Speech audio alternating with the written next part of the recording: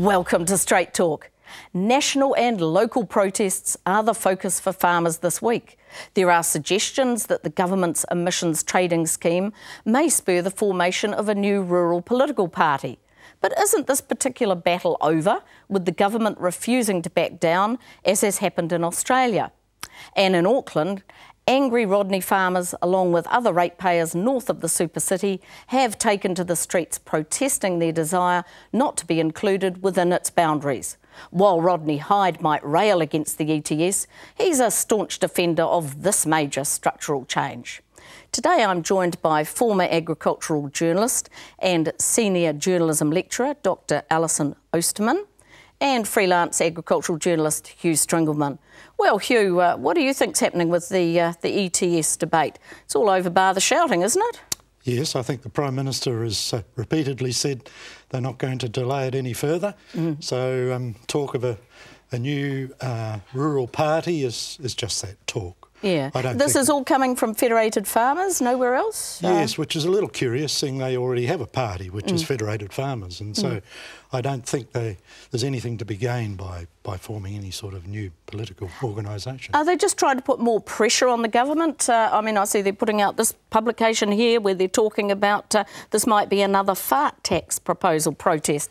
Uh, that was pretty successful for them, yes, wasn't it? Yes, it was. Um, but I think they've conceded that they probably won't you know, interrupt the, uh, the implementation of the hmm. scheme. Mm. But I think they can certainly protest against the financial effects and the and the management or the administration of the scheme. Mm.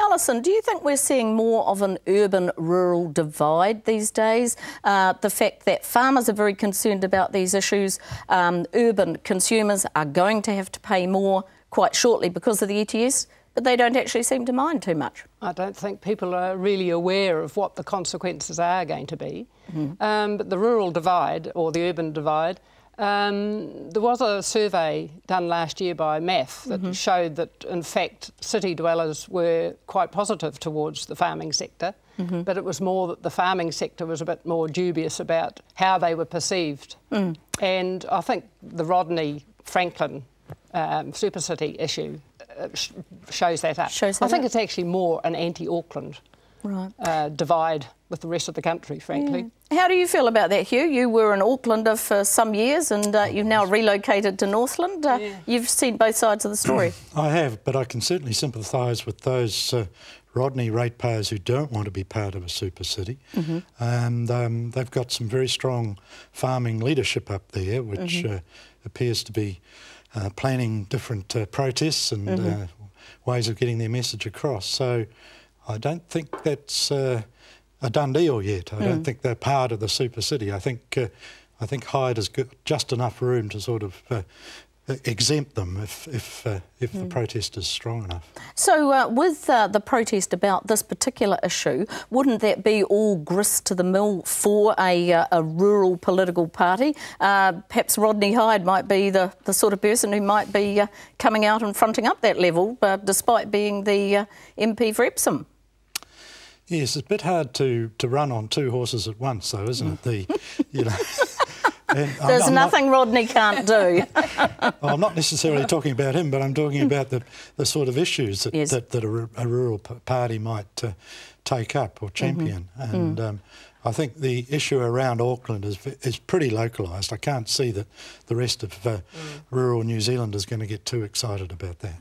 Um, Allison, uh, don't you feel that uh, perhaps other areas of New Zealand might feel with the super city, with what has happened with uh, Environment Canterbury down in uh, that area, that uh, their um, local uh, authorities might come under the spotlight from uh, central government in the future? Uh, shouldn't they be more concerned about the I super city? they should possibly be, yes. Mm, yeah. Because there are, there's talk around the country of other areas trying to do what Rodney RDC is trying to do, which mm-hmm. is have a unitary authority. Mm-hmm. Um, mm-hmm. and one of the farmers has told me that the, one of the reasons that they think that it's actually a dead duck Mm. They, they, they've got a supplementary order paper apparently going either yesterday or today mm-hmm. to try and get their division, mm. but it doesn't look as if it's going to go ahead. Mm.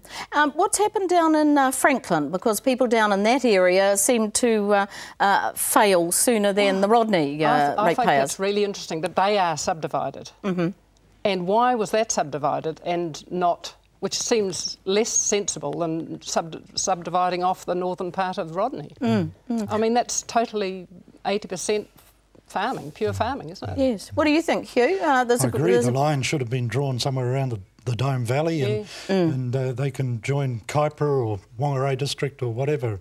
Mm-hmm. Um, north of that line, mm-hmm. but south of that line, they have a commonality with uh, with Auckland, yeah. which is pretty obvious to most people. Mm, mm. I've got a secret conspiracy theory that Lockwood's going to resign and become the mayor of the super city. Ah, there you go. Well, that's his electorate, isn't it? Yeah, it is. Yes, we'll yeah. see uh, see what happens there.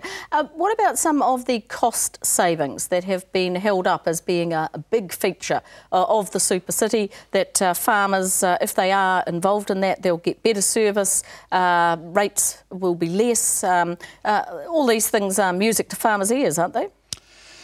Yes, they're quite good arguments, and I, I went to a big protest meeting in uh, Wellsford where where those arguments were put forward by mm-hmm. by different uh, civic leaders, and um, obviously not not everybody is convinced that uh, the super city is a bad idea, but. Mm-hmm. Um, I think by and large, if you're part of a big super city, you'll eventually get rated or um, mm. at, at, at, city rates, which will be pretty horrendous if you're owning mm-hmm. a thousand hectares or something like mm. that. Yeah. So, uh, is it time to be talking about a uh, complete change in the rating system? Uh, I know farmers have protested for a long time that uh, you know uh, rates on land values hit them very unfairly. Uh, should we be looking at a, a, poll tax type arrangement, as has been talked about in the past, Allison? Oh, I don't know about that. I know that talking to those farmers up in Rodney that mm.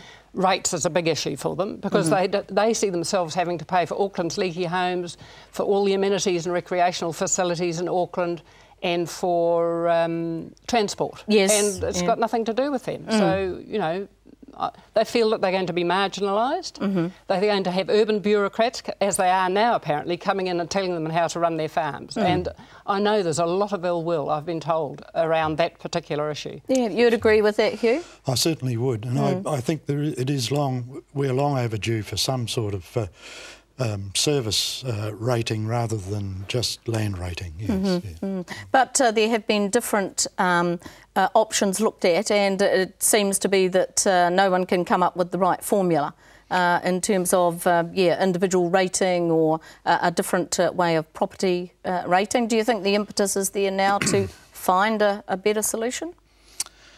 no, I don't think there's much impetus around at the moment, but you know, land rating is is uh, is very convenient within urban regions, but um, much less uh, logical in in, uh, in rural mm-hmm. areas. Mm-hmm. And uh, you know, some some people have spent an awful long time worrying about it, and uh, probably decades, mm-hmm. and uh, there's been no mm. no apparent solution to that. Right.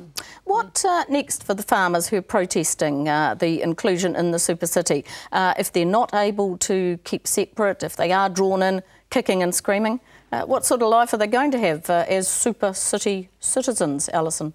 I think it's going to take them a long time. I think it's going to take us all a long time to acclimatise, although I do think that in a way we've gone back mm. to the old borough council idea. Yes. Representation's a big issue. They've got mm-hmm. one one on the on the council mm-hmm. and I think nine spread over an area that's half the size of the total uh, mm. Auckland regional size. Mm.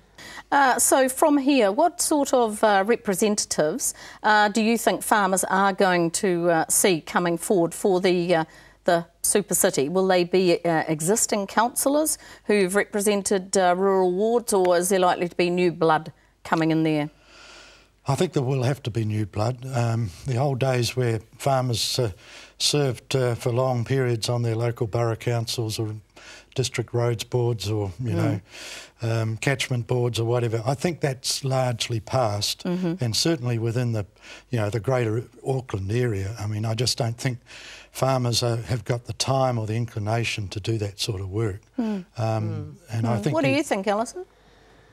You think there'll be new I, people coming in? From no. the word that I've heard, it's going to be the same councillors are going to be standing. So mm. look for Penny Webster, I would imagine, oh. going for yes. that one mm. seat. Yes.